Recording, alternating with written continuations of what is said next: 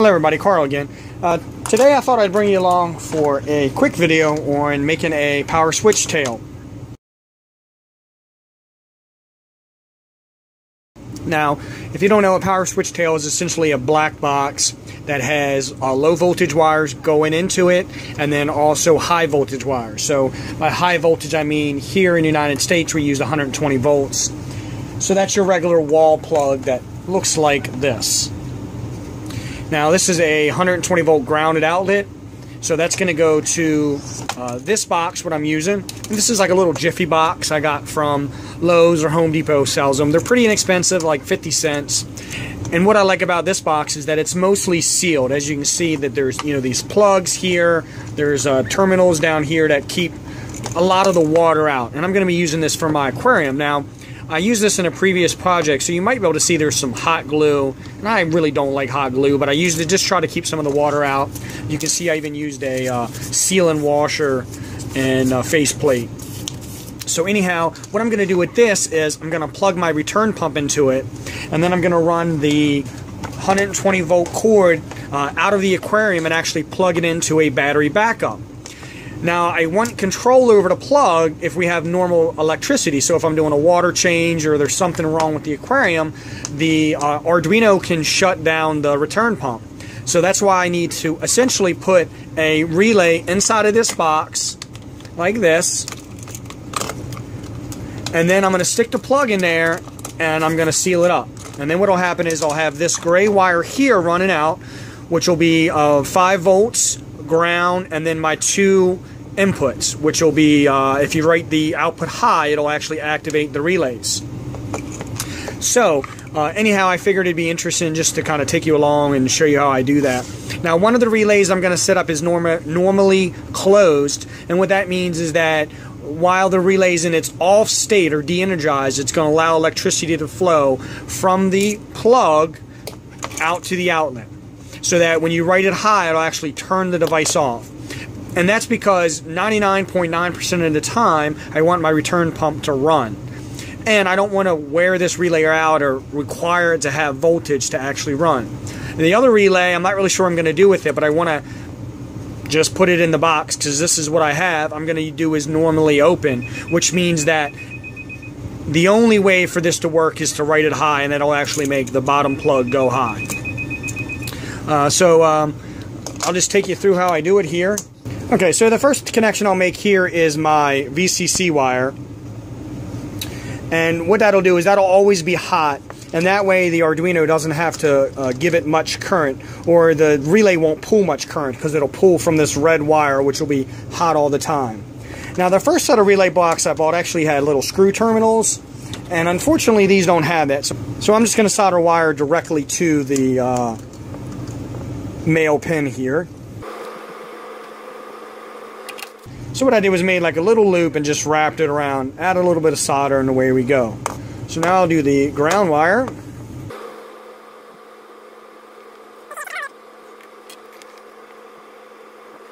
And a little bit of solder, and there it is.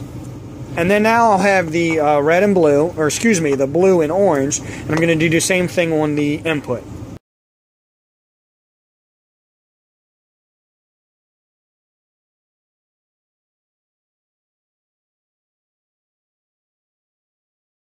So what I like to do is put one towards the bottom, one towards the top, so that the inputs don't short themselves out. So these two ground pins, this one here and this one here, are actually connected. So you could chop that off to give you a little room, and you could also bend this pin out of the way. Uh, but if you're looking to buy these modules, you can buy them with screw terminals just like this on the front end, and that's the way I'd recommend doing it. Save you a little aggravation. All right, so now that that's done, we'll just pull some of the wire back through here and uh, we'll just get it so it fits in there fairly snugly. Uh, you want to make sure that you leave some of the the sheathing actually in the box here, so you don't want loose wires hanging out the outside. So now what I'm going to do is take my uh, black wire here, which is the hot coming in, and actually tie it to the two relays. So what I have is just some stranded wire here, and I'm just going to uh, run basically a pigtail wire here and you can see it kind of looks like a pigtail that's why they call it and what I'll do is you can use a wire nut you can use whatever you want I'm just going to add some solder to keep them stuck together here and then stick a crimp wire nut over top as an insulator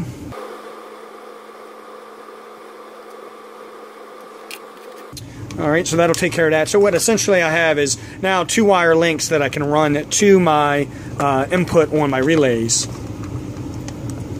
Now I know what you're thinking. You're like, oh, that's probably too long. Trust me, when you get down into it, it's not. You'll be running out of wire quicker than you think. Uh, you don't want it to be super long because then you won't be able to fit them in the box. But at the same token, you don't want them to be too short. Now I always tend these wires. Just add a little solder to them so that way when you tighten the screw down it doesn't displace the stranded wires. See this one's already done. And then we'll just kind of trim the end. And I do believe that the center is where I need to be. Let me just double check here.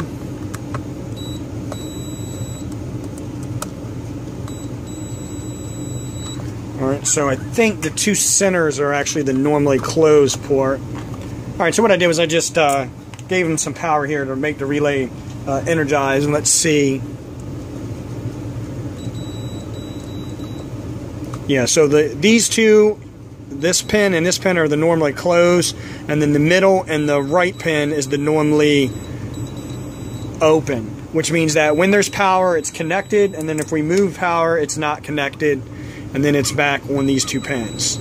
So this will be normally closed, and this will be normally opened. Alright, so that's the hot coming in. Now what we need is two little wires going from the relay out to the plug.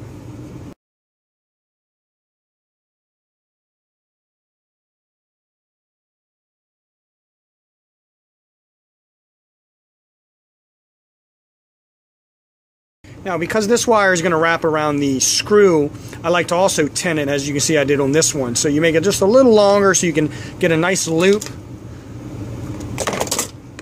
and then we'll just twist it together here and then we'll do the same tinning procedure I've done before here.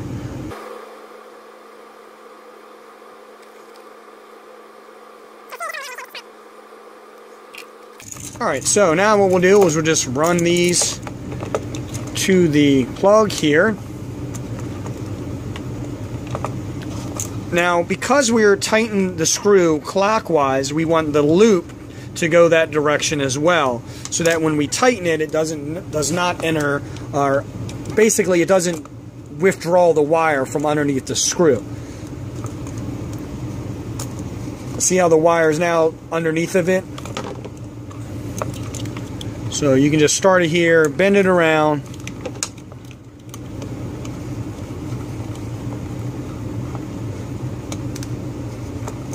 There it is. Now, you'll notice there's this these little ears. And what that is, is that, as you can see on the neutral, the neutral comes up, it touches this brass or copper plate, whatever it is here, and then runs across this ear to the other side. So because I want them to be isolated, I have to break that little ear. So you just take any pair of little pliers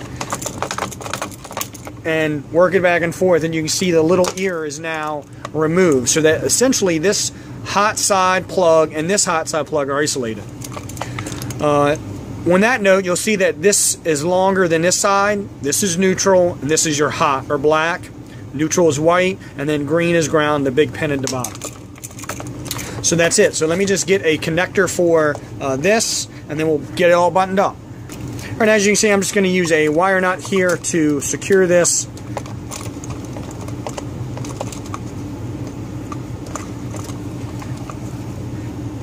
and that'll just make a good connection. Uh, now what I'm going to do is stick this down in the box. It's going to be kind of tough for you to see what's going on in there, but I'm just trying to move all the wires out of the way. I have uh, the hot wires here underneath of the screw, so when I put this screw in, it doesn't actually pinch them.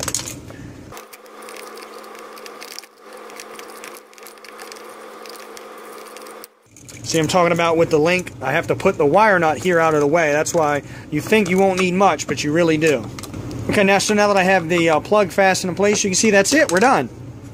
Uh, uh, down in the box here, I have the insulation still inside on both the low voltage and the high voltage wire.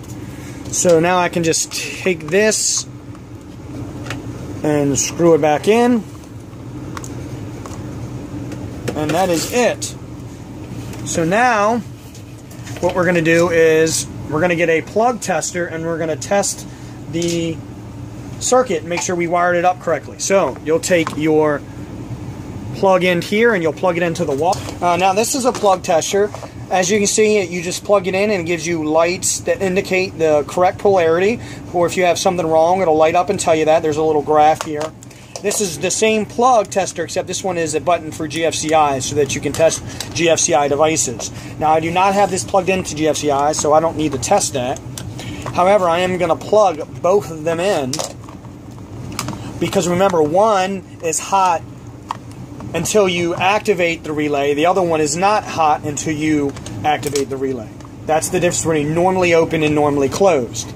So, as you can see, the top lights are both wiring correct, so that's a plus. The other thing to remember is that that plug is normally closed, which means that there's normally going to be power on it. So we'll just do NC so that we know which one that is. And then this will be NO, or normally open. So we'll grab our low voltage cable here and we'll give it um, ground and then we'll give the red wire voltage. And then what we'll do is we'll give the orange wire voltage. You hear the relay click and if you look at the top it actually went out so that means when I write that particular relay high it takes power away. When I let it go you can see the lights are back on. And then we'll activate it again. And then you'll see the lights go out. Alright, so now we'll do the blue, and you should see, let's unplug this one. For this one to be okay, you need the two bottom, the two, the left and the right light to come on. So we'll grab the blue wire, give that power, and as you can see, the lights are both on.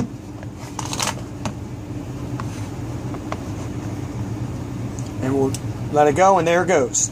So when you, when normally open means when you give it a high, when you write it high with the Arduino, it'll turn it on. So that's it.